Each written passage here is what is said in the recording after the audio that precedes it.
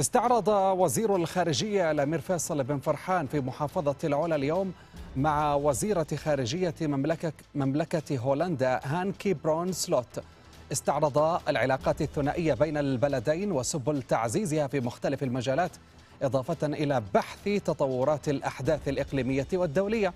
وفي مقدمتها مستجدات الأوضاع في قطاع غزة ومحيطها.